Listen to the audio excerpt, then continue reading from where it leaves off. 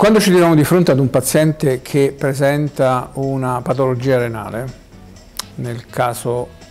particolare una riduzione del filtrato glomerulare o una proteinuria,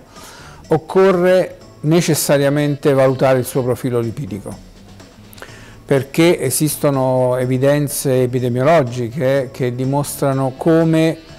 eh, l'alterazione del profilo lipidico eh, è in grado di eh, peggiorare la prognosi cardiovascolare dei pazienti affetti da malattia renale cronica.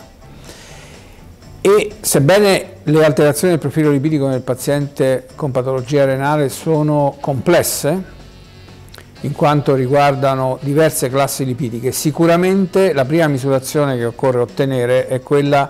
della concentrazione della colesterolemia LDL, cioè la concentrazione delle proteine aterogene per eccellenza. E noi oggi sappiamo che un paziente con malattia renale cronica in relazione alla gravità dell'insufficienza renale eh, deve puntare a raggiungere livelli di colesteromia LDL che sono almeno inferiori a 70 mg decilitro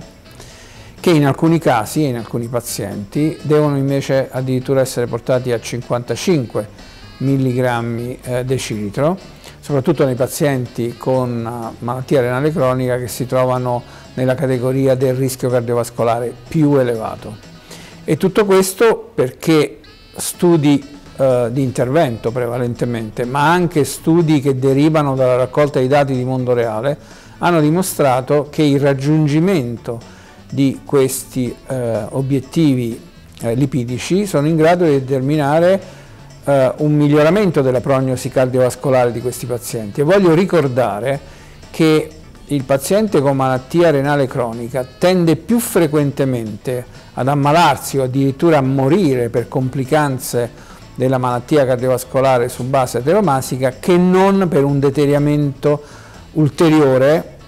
della funzione eh, renale. Quindi il profilo lipidico nel paziente con insufficienza reale, ehm, renale cronica deve rappresentare uno dei primi elementi nella gestione clinica corrente di questi pazienti.